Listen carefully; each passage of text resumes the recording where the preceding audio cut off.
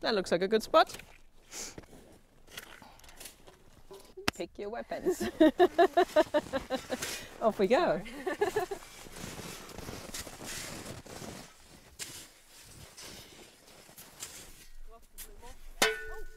no fighting over the snow, there's enough for everyone.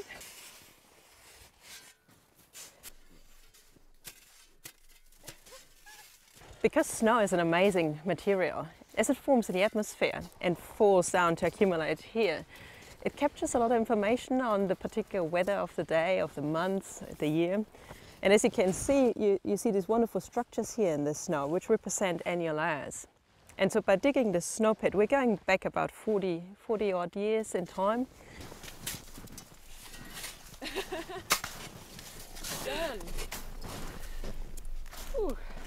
Must be coffee time. Coffee time. Yeah, One of the things that we measure in ice is chemistry.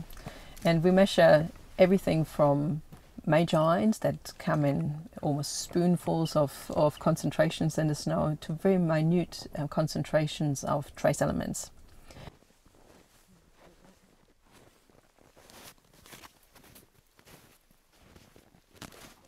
To prevent the snow being contaminated, and this is certainly the cleanest water in the world. We try to make ourselves as clean as possible.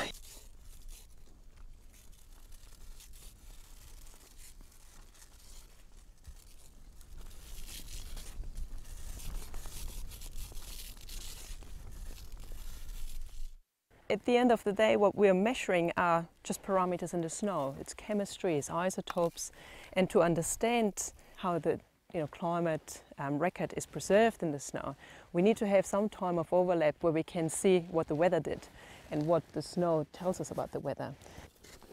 We use then this knowledge to go back further in time with the ice core records where we go back many thousands of years, but where we don't have the luxury, of course, of having meteorological observations.